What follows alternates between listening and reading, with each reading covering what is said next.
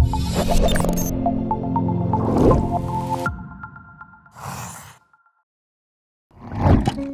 everyone, this is part two of our discussion with Robert Pondiscio. It picks up right where we left off in part one. Welcome back. Robert Pondiscio, welcome back uh, to this discussion uh, about how the other half learns. Uh, your new book about Success Academy schools after you spent a year there. Um, I found it a little funny, but also illuminating the title of this piece that you wrote, uh, Yeah. introducing the book. Uh, and I'll read it. The title was I Just Wrote a Book About Success Academy Charter Schools. It does not support your preferred narrative. I hope you hate it. Um, First of moments in all, marketing. get a different uh, marketing advisor. That's the first thing. Second of all, uh, what do you mean? I hope you hate it. Well, I, I, I'm- mean, I meant it puckishly but earnestly. In other words, uh, the intent of, of that piece, the intent of this book, really, is to kind of question people's priors. I mean, look, you know, I, I- my ed reform credentials are in good order. I'm, I'm a choice guy. I'm a charter guy. I teach part time right now at a charter school. Um, but that doesn't necessarily mean uh, drinking too deeply of the ideology, so to speak, uh, or the political narratives, I guess more more accurately, uh, that that we have thrown about uh, in in reform and charter world for you know the last twenty years. You know, there are these dueling narratives. Um, you know, at the risk of oversimplifying, you know, the the the, the pro charter narrative goes. Um, you know, kid goes in this door, they get a good outcome. They go in that door, bad outcome. The only difference is is is the school. Um, if you are anti-charters, well, then it's you know you got to fix uh, you know um, poverty, racism, etc. Fix those things, and schools will be better.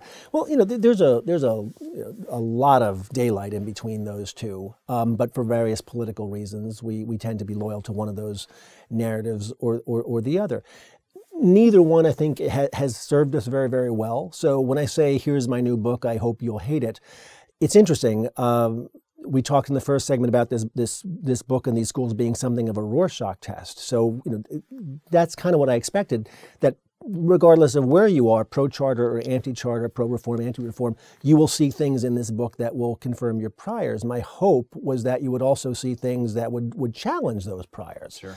Um, I should probably write another piece at this point, so because because uh, the book has been well received, which I'm pleased by, but but it's not necessarily a good thing because that means you're only looking at the things that you want. I should probably probably write another book that says you like my book and, and I'm disappointed. Yeah, well, let's let's bring up some of these different perspectives on this, and I'll reserve the right to advocate for the devil if it Okay, helps, please. Uh, to to make the conversation. One one of the things that often gets lobbed at Success Academy is, uh, yeah, it does great because it's uh, it's creaming. It's Yeah. creaming. It's taking the best kids, and if we could take the best kids, Sure. we'd have those scores too. Um, you say that that's not quite right. It's not and quite that it's not quite wrong. Yeah, what is So what is the lay Stephen, this out for what is the Stephen Colbert phrase? It's truthy. So I guess it's truthy. Um, I, I think I'd end up describing this, and I think this is an accurate way to describe what success does. It's, it's a bit of a self-selection engine. So there is there is creaming going on, um, but it's the parents who are self-selecting. Uh, it, it's worth discussing just briefly the way this works. I mean, there, there is this impression, and this is another part of the standard charter narrative, that because there is a um, the existence of a lottery for oversubscribed charter schools, that therefore, by definition, you're getting a um, a random assortment of, of, of kids. And that's true enough. Um, but what happens at success, and this has been hiding in plain sight for, for years, uh, they you win a you win a seat in the lottery, then you're invited to a welcome meeting, and even if you're on uh, the, the the waiting list, what they call the likely list, remember that term, it's significant. If you're on the likely list, you still have to come to the meeting. Uh, at which point the, the, the school lays out in, in unsparing terms their expectations and their culture, and they ask you repeatedly, you have to ask yourself, mom and dad, is Success Academy right for you? Not is it right for your kid, is it right for you? That's not an accident. Um, because a lot of parents decide, well, it's not right for me. I, this, this culture is too much. The expectations are too much. A- And, then there's structural things as well. If you can't uh, bring your kid to school at 7.30 in the morning, pick them up 3.45 in the afternoon, half days on Wednesdays. days on Wednesday, No that's it, yeah. transportation, no after school, then it's literally not for you. Right. In other, th- th- whether it's uh, uh, by, by design or by happenstance, it it favors families that have uh, parental bandwidth, if you like. Yep. Uh, so so the, while I don't have data on this, this is I want to be clear on this. I'm not a researcher. This my approach here is journalistic. Sure. But observably, you see families at Success Academy who tend to be married, religious, engaged, um, uh, motivated. Right. And and to be quite frank, when teachers are looking for parents to support the instruction that's going on in their classroom, these are the parents they want. Right? Well, that's exactly right. But I don't want to leave the impression that this is every parent. Sure. I mean, you're still talking about families living in poverty in places like the South Bronx. So nobody should kid themselves and say this is this is easy. it should be established that success's students are genuinely disadvantaged. Low income, low income, almost exclusively low income families of color. Right. Yes, but they are not necessarily. Uh, the same as the families that I was teaching at, at PS 277 a few blocks away uh, some some years ago. I, I, I'm trying not to parse this to make make too much of this, but I think when we look at the differences um, demographically, we're missing something. To, to use a term from marketing, you almost have to look at it psychographically. You know, the, the, the family that is, uh, I would argue that the family that uh, raises their hand and says, I want a charter school is immediately different than the family that does not say that. And then the family that says, no, I want Success Academy Charter School uh, is different than the other two. Yeah, and there's there are just a lot a, a, lot of hoops that they have to press through. So my question but on that, this that drives the culture. In other words, you can't do these things. You can't have this just so culture, these high expectations, unless you have maybe not every family, but a critical mass of family voting with their feet repeatedly, who become functionally the culture keepers. Right. So, you know, my question then, and you said you're not a researcher, you don't have the numbers on this. And I don't want numbers, I want a gut sense. How potent is this mechanism whereby some parents leave because they're they're not going to toe the line. It's, Yeah. it's too much, and it is too much, right? Black socks are not okay. Only blue socks are okay. right. They'll turn kids away at the door, Yeah, right? yeah, Uh, if you don't come to the orientation meeting, we give your seat to someone else, right? These are these are pretty potent Yeah. roadblocks for some parents. Uh, so I'm just wondering, how far does it go? Well, I'm not sure. Say more. When you say how far Well, I does mean, it go? how potent is this as a tool for creating a uh, a cadre of parents that is distinct Yeah. from your run-of-the-mill cross section Yeah, of parents? look, I think Eva Moskowitz might give you a different answer. Um, you know, uh, and I think for what for what it's worth, I, I- think that they don't like the impression, and I want to be clear. I'm not trying to create the impression that this is the secret sauce. This is the starting line. Um, but it's look, it's just a lot easier. I don't not easy, easier, Nat, to accomplish these things with with families and students who are buying what you're selling, uh, as opposed to a coercive relationship where you're trying to get them in the game, which is sometimes how I felt as a as a teacher in the DOE. I was trying to you know get get my kids to to to you know. To, to follow through and, and step up there that's that's that's a, a given Right. so to speak and and if it's not a given then you then you're pushing it back to the parents and the parents make sure that you know the, the, the kids are engaged and ready and whatnot Sure. um, so it's you know I, I want to be try to be precise here. That's not the secret sauce, uh, but it's it it enables this culture of high achievement and these results, and I think it contributes to the consistency. And look, this is this is anybody who's watching this who you know my parents' generation who maybe went to Catholic schools in New York of the 40s or 50s say, well, duh, that's Right. that's the way this works. Yeah. You know, so it's this is this is why I kept focusing on school culture. Because it's interesting, right? In other words, this is the one thing in the reform era that we're almost not allowed to touch. Why do we have these random lotteries? Well, because we're supposed to do this with every child. So, uh, you know, can you do this with every child, or does it require families at some level who are who are buying what you're selling? Yeah. I think that that's a big lesson There- of, of, of, these schools. In the book, you have the uh, the the is it come to Jesus Yeah, chapter? Is yeah. that right? Yeah, and there's a there's a description of uh, a teacher going after kindergarten parents, making it clear Yeah. that they are not doing their part of the bargain and that they need to step up. That is the absolute message, and she's in it with them. So talk to me a little bit about this concept that's in the book a couple of times about this partnership or this marriage between the families that are there and the school staff. Yeah, look, this this is where um, I think Moskowitz has been done considerable dirt by by um, uh, media coverage and whatnot. There, there's this impression out there that one, they're creaming uh, students and parents. And, and, as I just was describing, I think there, there, there's self selection there. And there's this impression that these are harsh militaristic places, almost like Chinese cram schools in a way.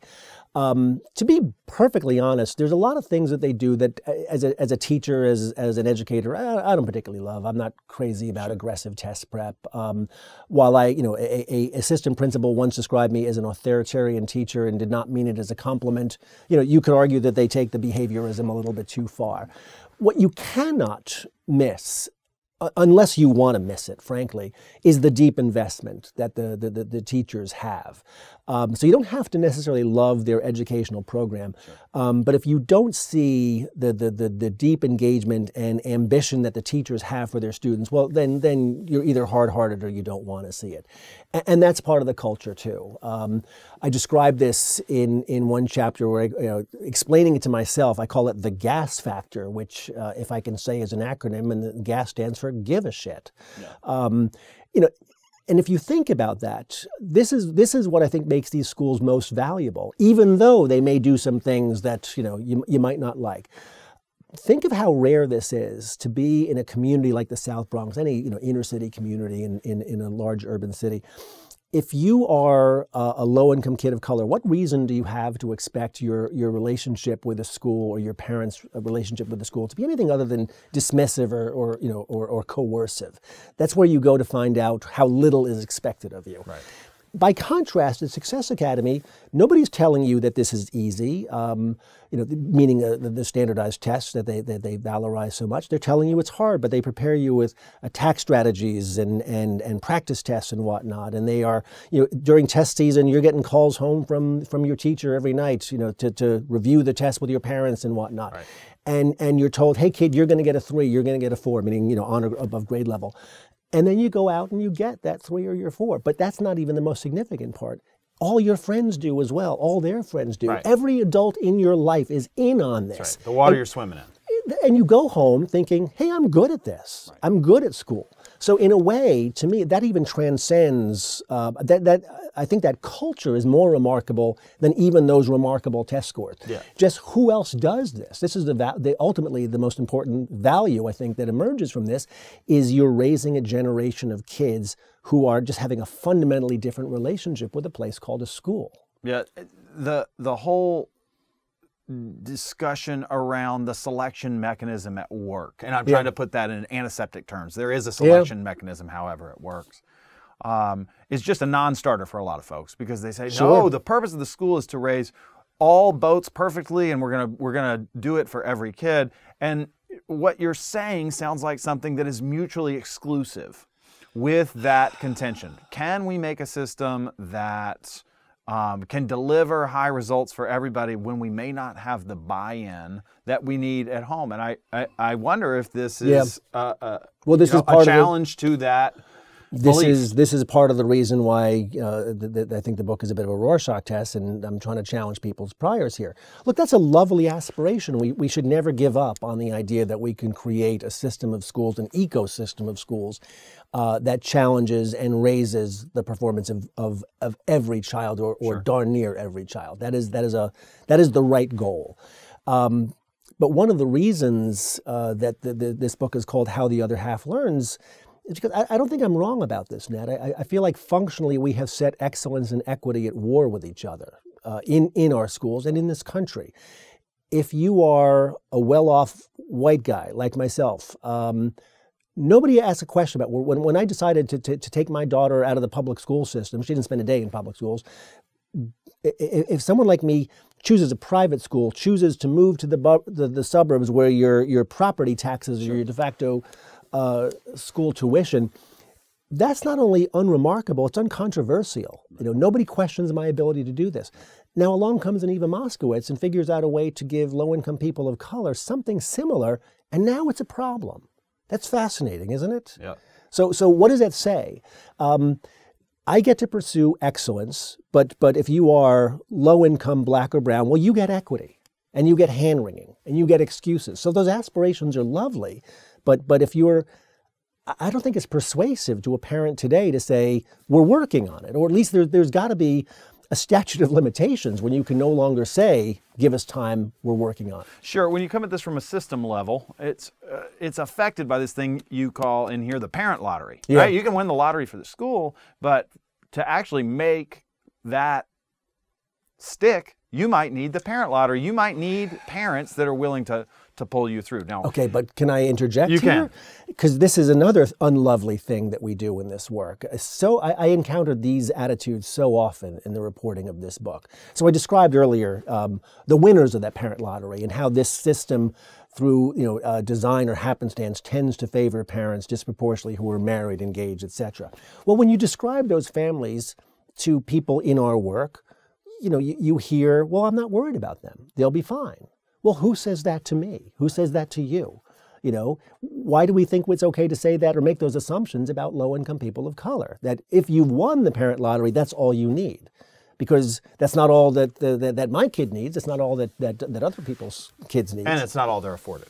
Well, that's exactly right. So there's this kind of there, there, there's you know two sets of kind of assumptions we make about inner city, and I speak as as, as somebody who's been a teacher and a policy person. Um, ne- they're, they're both rather um, unlovely. One is this attitude I just described, where oh, if you if you have um, you know a a, um, uh, a a, a functional family. You're, you're growing up in a two-parent household, parents employed, you'll be fine. Um, the other one is, is even more pernicious and worse, which is coming into uh, an urban community saying, and seeing nothing but dysfunction. Oh, I can't make demands of parents. I can't engage them because Right. um, everything's broken, dysfunctional, etc. You're all these children are traumatized. Say what you will about Eva Moskowitz, you cannot accuse her of having low expectations of parents. That's right. There's a certain minimum level of respect that she has that is not That is structural that, and, and, and frankly laudable. Now, uh, the flip side of this is okay, when I'm thinking from a system Yeah. perspective, what does Success Academy do to the degree that it siphons off these kids who are parent lottery winners from the schools? Because part of another the part, it is complicated because part of the uh, uh, assertion is that success is able to operate at this high level in part because they have that support at home. And if we are siphoning off that support, doesn't that make some schools' jobs harder? Yes, it does.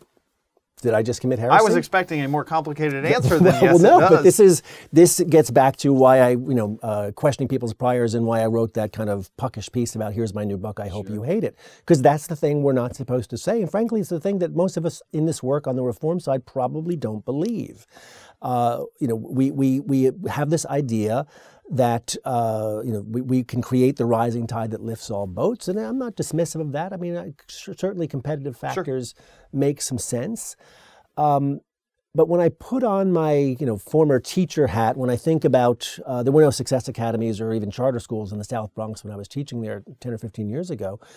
But if I think about the families and the kids in my former classes who would be most likely uh, to be drawn off to a, a charter school, to a success academy, and now I imagine my classes without those kids there. Uh, and now you're going to tell me, oh no, I just made your job easier. Well, that can't be right. If, if, if that's what research is telling us, at the risk of offending, uh, you know, my, my PhD research colleague here, uh, well, then we're asking the wrong questions. Yeah. It, it, it doesn't it doesn't account for culture. It doesn't account for motivation. Uh, maybe you can maybe there's some competitive effects there at work, but it's it, it's. I think we have to be honest about that. I, you know, it rings true. I, my years of teaching, I had some kids that, you know, there's a spectrum of family involvement. Yeah. And I really appreciated those kids' presence You, in my classroom. you sure do. And now imagine that those kids go from being the culture outliers to the culture keepers. Again, that's not to say that it's going to be easy in one place and hard, but it's easier. You can get more done. Look, at the end of the day, that's that to me is the real lesson of Success Academy. It shows you the upward or the upper limits of what can be achieved when every adult in a child's life is is singing from the same hymnal, so to speak, pulling on on, on the oars. Parents, teachers, administrators, etc. Let's let's talk about one last thing about that hymnal. A lot of the notes in it are dictated from standardized tests. Yeah. I mean, there's no doubt about it. This place is driven by standardized tests, and they ring the bell. Yeah. I mean, they ring the bell. There's no doubt about it. They do it consistently, and and sort of your other work in writing, you've been a little critical about uh, test-driven accountability and the effects that Yeah. it can have on schools, on the narrowing of the curriculum. Um, two-part question: How does the the the test driver manifest itself in Success Academy's uh, culture and operations? Yeah. And you know, handicap when it's a good thing and when it's not. Yeah, boy, we could we could talk for an hour on just that question. I mean, I, I you know. I always say this I've got a very complicated relationship with standardized testing. Nobody should sentimentalize the days before we had testing. Um, and in the main, the accountability impulse is a good thing.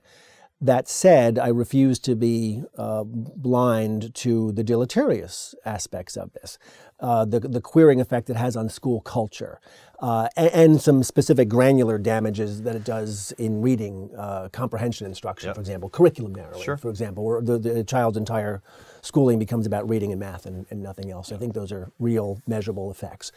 Um, well, that's that. Those are the very topics that I'm curious yeah. about how much of that evidence do you see? In other words, well, is success predicated on that narrowing? Sure. Or is it is it more well, than that? Okay, no. Uh, let, let, me let me walk that back. They, they, they are not narrowing the curriculum. It's interesting because at the end of the day, um, I, I, think I even asked myself this in the book. I, I, started worrying that I was falling victim to to Success Academy Stockholm syndrome by, by dint of the fact that I was there so much because they do you know a lot of things that I don't necessarily like, but I, I liked what I was seeing in in the main and and as a whole.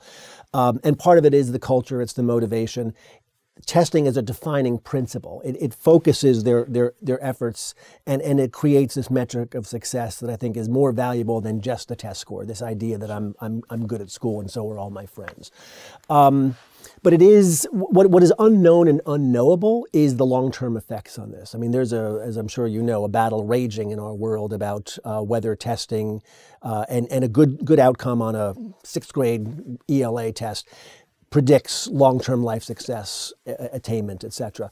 Um, I think the jury's very much out on that. Uh, I'm persuaded, I've persuaded myself that getting the child's relationship and a functional and successful relationship with school is is important. Um, one of the other hats that I wear is in, in, civic education, and I tend to view schools as civic uh, civic institutions first and foremost. And to me, having a child having a productive relationship with the school as the civic institution of first resort, I think is important, and I don't want to d- diminish that.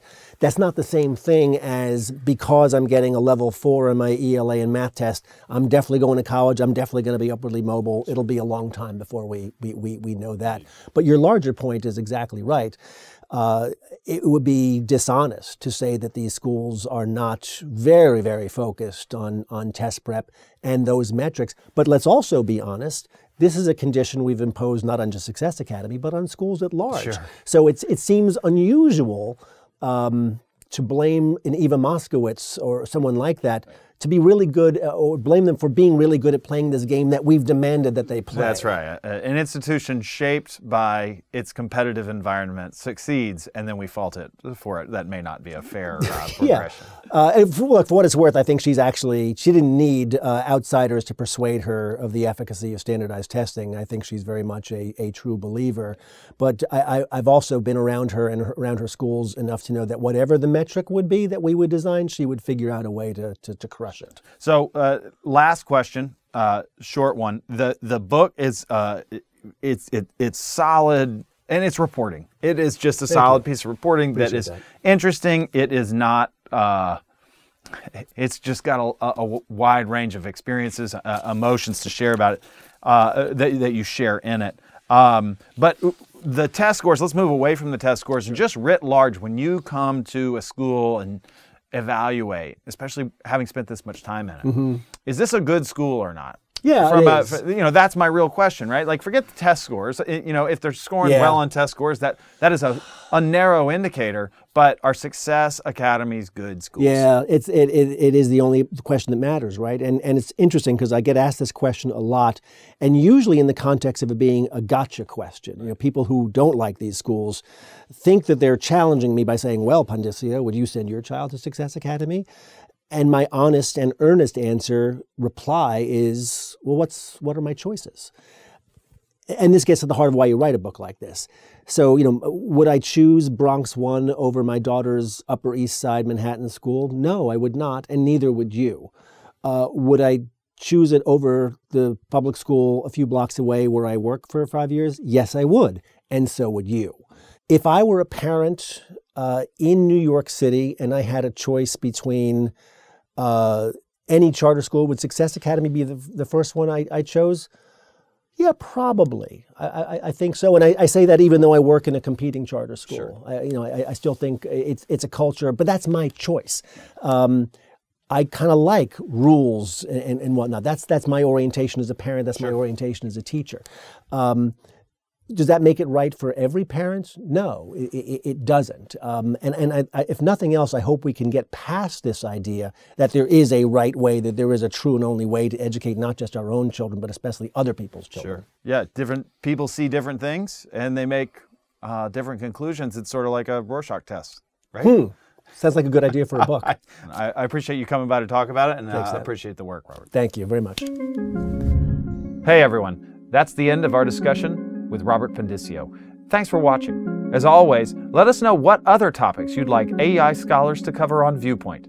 And to learn more about Success Academy, check the links in the description below.